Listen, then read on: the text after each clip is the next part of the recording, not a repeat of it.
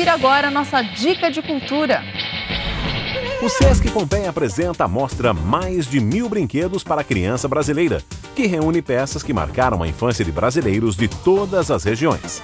A entrada é gratuita e a mostra segue até o dia 2 de fevereiro de 2014.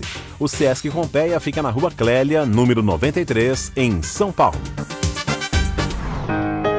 A exposição de fotografia Rio Patrimônio da Humanidade exibe imagens feitas pelo fotógrafo Henrique Jordan e comemora o aniversário de um ano do recebimento do título de Patrimônio Cultural da Humanidade pela Cidade Maravilhosa. As obras ficam expostas no Botafogo Praia Shopping, na Praia do Botafogo 400, até o dia 15 de agosto.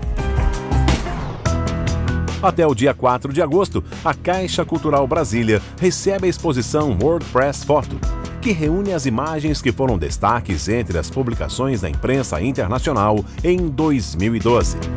A Caixa Cultural Brasília fica na SBS Quadra 4, lotes 3 e 4. A entrada é gratuita.